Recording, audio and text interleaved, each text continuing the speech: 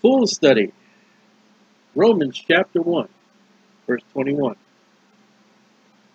Because they, because that when they knew God, they glorify him not as God, neither were thankful, but became vain in their imagination, and their foolish heart. Foolish heart, let's stop there for a moment. We read in Psalms that the fool has said in his heart that there is no God. We have studied that atheism is not in the mindset, it's in the heart. Here is a foolish heart was darkened. No light. And we're not talking about that physical thing in your body goes bump, bump, bump, bump. The next fool, professing themselves to be wise, they became fools and changed the glory of the incorruptible God into an image made like unto corruptible man, and to birds, and four-footed beasts, and creepy things. So we look at the first two fools of this study, and we see the perfect foolishness of the education system that teaches evolution that birds and monkeys and dinosaurs and no creation by God. That an evolutionist and a theistic evolutionist, according to the Bible, are fools. They deny God. It says, because when they knew God, every man is born with the knowledge of God. You have to be trained, you have to be educated out of the simple belief in God. I don't know if we're going to get far in this one today. But as a little boy growing up in a little place called New London, Connecticut with my friends, we would sacrifice worms to a god. We knew there was a God. We would lay out and look at the stars in the heavens and know somebody created that. And then also helped, uh, I was brought up Catholic, you know, there is, you know, a God in the Catholic Church. There's Jesus. But a fool here, because that when they knew God, all men had the knowledge of God, they glorify him not as God. He's a big bang.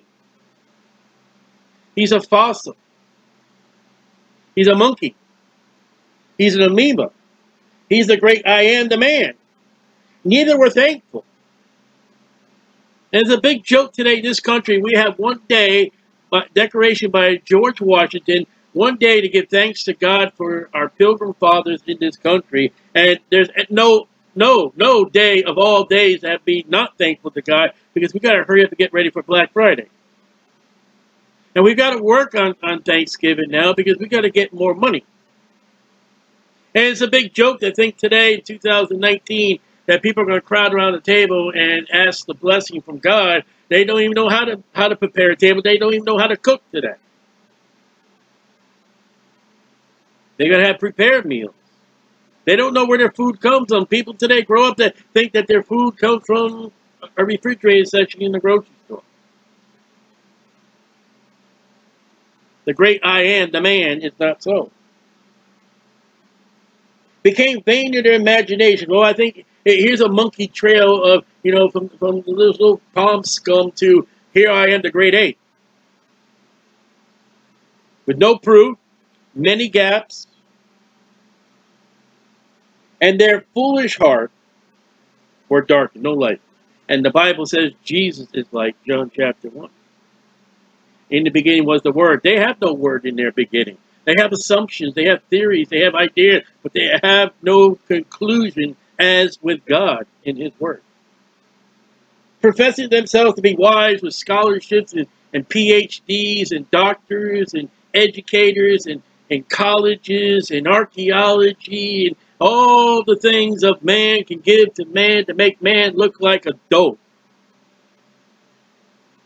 wise, they became fools. And remember, throughout the book of Proverbs, when we study the fool, we had wise in contrast to the fool. The fool in contrast to the wise. God says, hey, you're wise. But you're fool. A man may get up on a blackboard or whatever they use today and come up with all the theories and all the equations and all the formulas and come out to a, an answer that I cannot do or solve or even think about.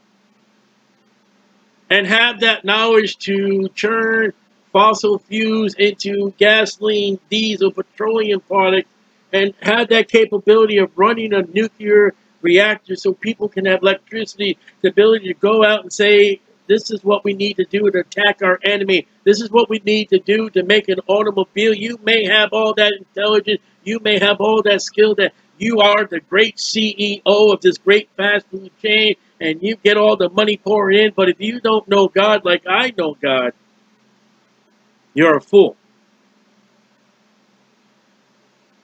You're a fool. You're the man that said, oh, so look how great I am. I'll tear everything down and I'll build me storage units. I'll rent them out. I'll get more money. And God says, thou fool. Remember when we studied that in Matthew? Foolish people deny God. That is one stance since 1987, uh, April 7th, I have not taken and will not take. There is a God there is a Jesus Christ. Jesus is God, and God is Jesus, and Jehovah Witnesses are fools. When Catholics say there's other ways to God, they're fools. But the one that says Jesus is the way, the truth, and the life, no man comes unto the Father but by him, that's wise. Wise men will find themselves at their death to be absent from the body, present with the Lord. When the rapture happens, they will find themselves caught up in the clouds with them who are also wise.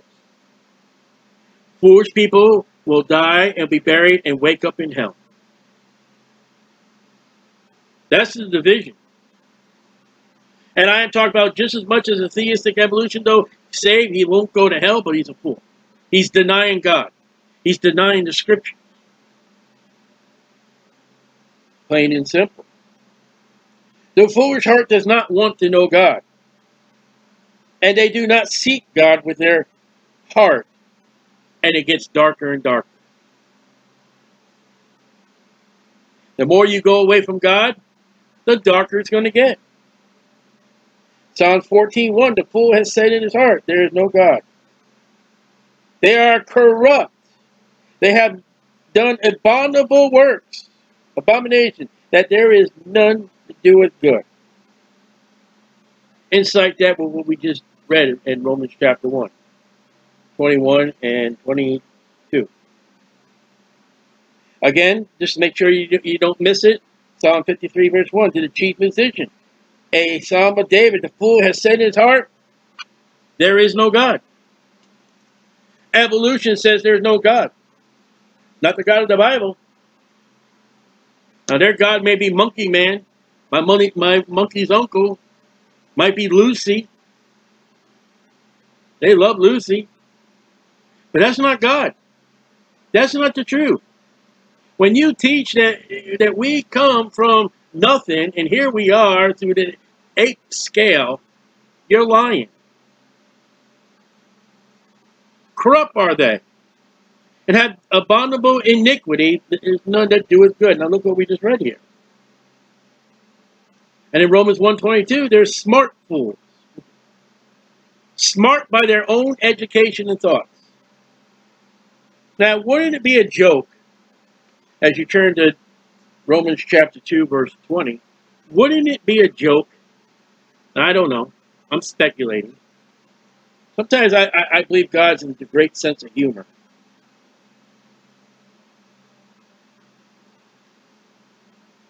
Wouldn't it be a joke when we get to heaven, those that are saved by the blood of Jesus Christ, those who have obeyed what God told them to do, Isaac, Abraham, Jacob, wouldn't it be a joke if we got to heaven to realize what we thought was not what it was? I mean, wouldn't it be great if, if all the doctors that did get saved and are saved get to heaven and God says, listen, let me tell you, you had it all wrong. I'm the one that made the body. Let me tell you about the body. You know, when we give credit to man, we're all wrong. The credit goes to God.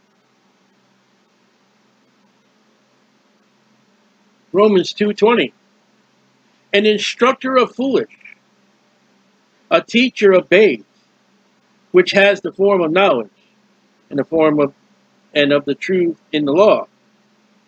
He's talking to Jews. After the prophecy the Messiah shows up and rejects him, you teach the people from the law and the prophets. The Jewish people, after the Messiah came up in the 48 prophecies, if not more, were fulfilled 100%.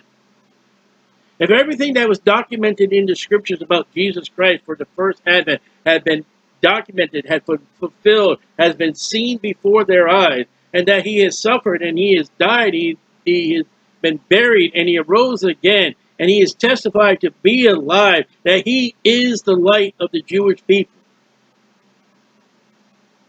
And to walk away from the 12 disciples, the 12 apostles, through the book of Acts, and to keep on going the way you're doing. And Paul addresses this in some churches. They're saved. They, they're saved by the blood of the Lord Jesus Christ, but they were deceived to go back into the law. And they'll teach, they'll get up there and say, oh, you can't do this on the Sabbath. You know, church is for the Sabbath. You can't have this food. You can't have this food. You can do this. And Paul says you're an instructor of the foolish because you have not rightly divided the word of truth. When the Bible says, study to show thyself approved unto God, a workman that needs not to be shamed, but rightly divine the word of truth. When you teach doctrines that are deceiving the people, whatever it be, if it's not according to the scriptures, you are a instructor of the foolish. You are leading people in the foolish. When we've studied again, I've already said this, there's a contrast between wise and between foolish. They're not the same. A fool become, can become wise, a wise man can become a fool, but they're not the one in the same. I have done foolish acts. I have found through this study that I have been the fool. Well, you're a Christian. Yeah, but when I stepped into the realm of foolishness, I stepped back into the flesh. I stepped back into being a sinner. When I played the fool, when I was the fool, I was not in the Spirit. I was not in the Holy Spirit. I was not of the realm of God. I was in the realm of the flesh and the devil and myself in the world. You can't combine the two like you cannot combine the flesh and the spirit. They're at enmity each other. And Christians try to do that. Today, the world is being used to entertain the fact that, I said the word entertain purposely, we can bring people to Jesus by using the worldly means. And there's a sorry deception, and you are an instructor of the foolish. I think a lot of people at this church age in 2019, years to follow and years to come, people who are going to think they're saved, and by the products and by the procedures and by the programs and by what the church is doing, they're not truly saved. And Jesus said, woe unto that. And then when you instruct that person in the way of unrighteousness, teaching them that you think it's right, you're a fool. The aim of crowds and fame will bring you down to foolishness.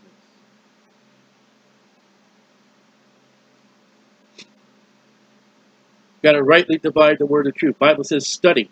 How do you study? You read. You don't read, you digest the word of God. Studying the word of God and digesting the word of God brings you what? It brings you to the knowledge of the holy. And when you come to knowledge of the holy, then you know what's right and wrong by what's stared, by the Bible. And when you use the Bible rightfully as a scale in any, any particular instance yourself or someone else, you're doing that which is wise.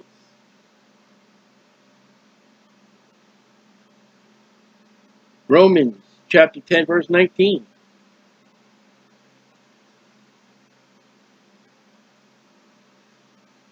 Romans 10 19. But I say, did not Israel know? First Moses said, I provoked you to jealousy by them that are no people, and by a foolish nation I will anger you. Foolish nation. Who's that? Gentile. That's me. That's Polish. That is Italian. That's African. That's Indians. That's Chinese. That's Russian. That's American. That's Native American. That's Peruvians, whatever you call them. That's Hawaiian. We are foolish nations in the eyes of God. What do we do? We go out in the woods, we cut down a tree, we bring it in, Jeremiah 10, we deck it with gold and silver, we bow down before oh holy tree. And we're so foolish to find out, oh, the realm of Christianity, oh, we can bring Jesus Christ into that tree.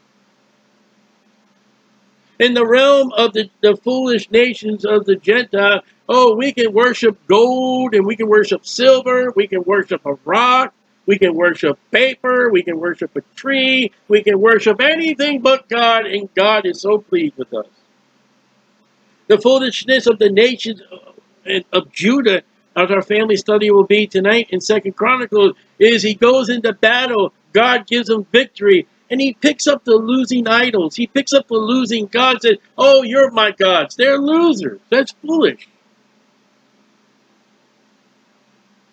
Now, I'm not going to quote this correctly, but to the instances, you know, you fooled me once, shame on me. Or shame on you, Yeah. you fooled me once, shame on you. Fooled me twice, shame on me. Knew I wasn't going to get that right. We are foolish without Jesus Christ. We, as a Gentile people, and you see it throughout the Bible, we got this weird thing. We got this fish head God that, you know, he's an appropriate God. Though he's fallen down, though he's been cut in pieces, and he's fallen down before the ark of God twice, we'll put him back up and we'll add more rules and regulations to it.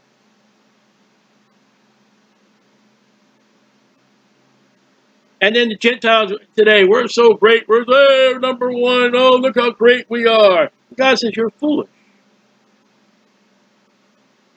Because you don't have the knowledge of the Holy. You don't have the knowledge of the Lord Jesus Christ to receive him as your personal Savior. Religions in the world today of the Gentiles are foolish. You think by taking a piece of bread and a cup of, of, of alcoholic beverage that you're going to magic trick change that into a God. You ever look back and think how foolish that is? That you are in the realms outside the Bible, but you're in the realms of the cannibalism, and you will mock the people who kill human beings and eat their bodies and then drink their blood, but yet you do it what you call the mass. You think it's a foolish nation where you are India and you are starving to death. You are going on television saying, please give us money for food, and you've got plenty of cows running around, but that may be grandma and grandpa. Eat the cow. Maybe grandma and grandpa doesn't want to be a cow no more. If you kill them, they'll be something else. Maybe a mosquito, you slap them in your arm. Isn't that foolish? Think about it. You're starving to death, but you've got hamburger walking around, but you can't kill it because it may be a god. Your god is two patties of quarter beef between two. That's your god. That's your God that everybody else in the world, all the other Gentiles eat. We seem to have a problem with gods and eating. Seems to be a dietary problem with the foolish Gentiles of eating.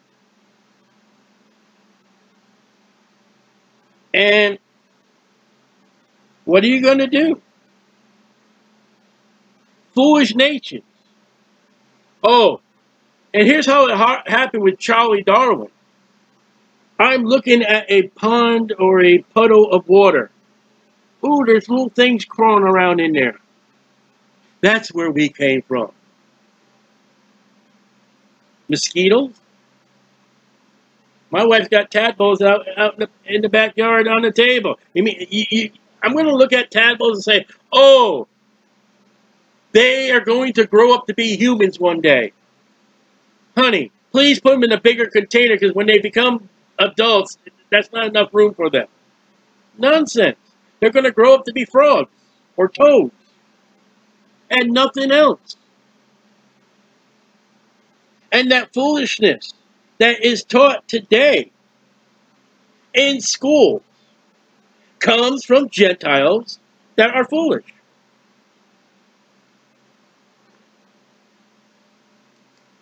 We are in the realm of foolishness. Religion is foolish. Because when it comes to Gentiles, there's Gentiles are classified as one great definition. Are you Jewish of Abraham, Isaac, and Jacob? Abraham, Isaac, and Jacob. No? Then you're a Gentile.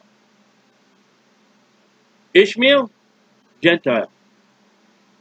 Esau, Edomites, Gentile. Moab, Gentile. Assyrians, Gentile. Italians, Gentile. Europeans, Gentile. Asians, Gentile.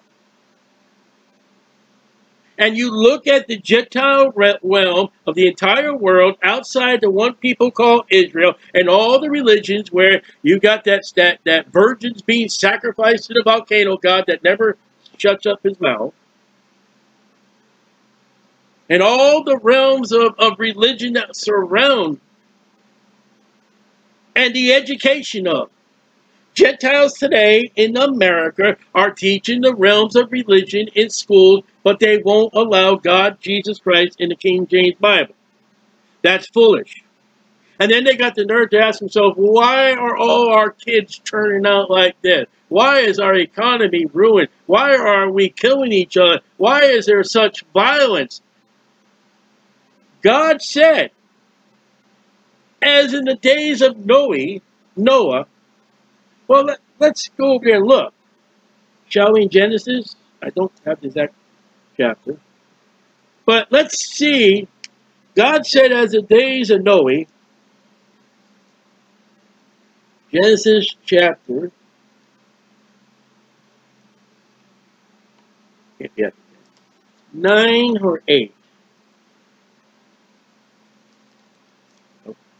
All right, Genesis chapter 6. As in the days of Noah. Verse 5. Genesis 6 5. And God saw that the wickedness of man was great in the earth. Is that not a classification today? And that every imagination of the thoughts of his heart, that's what we just read in Romans, was only evil continually. And he repented the Lord that he had made man on the earth, and it grieved him at his heart, God's heart. And the Lord said, I will destroy man who I created from the face of the earth, both man and beast and creepy thing, and the fowls of the air, and repented me that I had made man, made them. Well, that's kind of interesting. That's very interesting because we are in that state today. We are a wicked abomination of thoughts and ideas. But we're not finished with the reading yet, are we? Verse 11. And the earth was, and the earth also was corrupt by, before God, and the earth was filled with violence. Verse 13. And God said to Noah, The end of all flesh is come before me, for the earth is filled with violence through them. Oh, so we have read and studied our Bible. We would know that the violence that's happening today is preparing us to the days of Noah. And people had other ideas outside of Noah, or Noah, Matthew. He preached, the Bible says. And he preached, get in the ark, get in the safety of God, and they had other ideas as they do today. And they made fun of the preachers as they do today. One man stood against the entire world. And eight people were saved. With pairs or by sevens. So we have a foolish thought here that we are going to build the ark in America and pay people, have people pay us to come and see the ark by four or five verses of the actual description of the ark, that they would know what animals and how many animals were there. Though the Bible doesn't say, it just says by pairs and by seven, and that's a foolish group of people. We built, you know, we built the ark. Study to show thyself approved unto God, a workman that needs not to be shamed, rightly dividing the word of truth. No Christian is told to build an ark. They're told to go in all the world and preach the gospel. Well, we present the gospel. If you're doing it by instructor of foolishness, by building something you don't even really know, then you're wrong. And today's Christianity is foolish. We're going to make right wrong, and we're going to make wrong right, and bring that wrong that's right into the churches and do wrong. Professing themselves to be wise, they became fools. Many Christians in this church age are going to find out the judgment seat of Christ, you're a fool. And be very careful because the Bible says he's going to give us a new name. I would hate to have a name in heaven forever and glory forever and ever that would eliminate any wisdom that God would give you a name that would be classified as foolish, fool, foolish, or folly. Or worse thought than that is, I'm going to go to glory and I'm going to have no crowns, no rewards, and no inheritance at all because I was a fool. And you'd be no different from the fools that teach evolution that are atheists. You can be an atheist, you can be an unsaved fool, and you can be a saved fool. Unsaved go to hell, saved go to heaven with no rewards, no crowns, no inheritance at all. Can you imagine Jesus Christ getting up at the judgment seat of Christ, looking you at your face? Now, he's not going to say, Depart from me, you work as iniquity. I never. He's not going to say that to a Christian. But can you imagine looking at you and saying, You're an instructor of the foolish? I would not want that.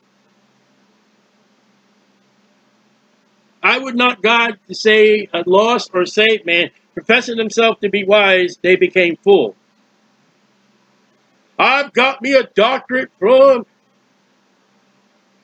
Baptist College. Look at me. And God tell you, yeah, that's good, but you were a fool. You couldn't understand that by Jesus Christ alone, people are saying, not by other junk. You don't understand that I gave you the English Bible. You didn't need the Hebrew and Greek. Man, God is not a man that passes titles. Now you may say, Stolly, you, you applied the title DD uh, on your thing. Yeah. On my public work and stuff like that, I do. I earned that degree. But I don't ravish in it. I don't go out in the public, you know, you got to call me doctor. There are men out there right now that go out there, you have to call them Dr. So-and-so. You have to give, no.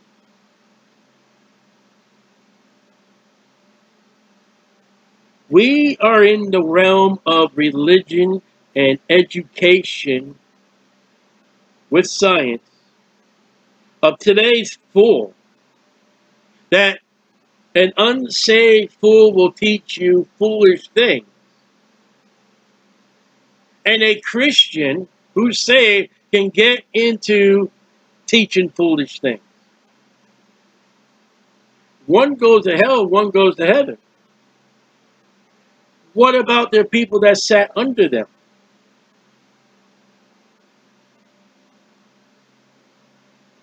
There are under the, the, the, the quotes of Christian or quotes of church there are people who sat under a teacher, a preacher, whatever you want to call them. And they believe by the teaching by the preaching that man, they are saved to what that church and what that man says.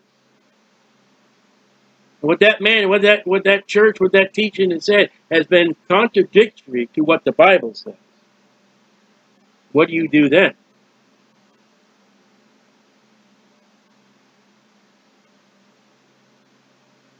Foolish aspect today is do not teach that which is wrong. Do not deceive others. Believe on the Lord Jesus Christ and be saved. Study and read your Bible so you can give the right answer. Listen, sometimes the best right answer is, I've done it. Ready? I don't know. You want me to? I'll go look into it. A lot better give him something that's untrue and make people believe, oh, how great thou art. And you're not. You're foolish. You're foolish. If it's not correct, if it's wrong, by our study today, you're a fool. Plain and simple.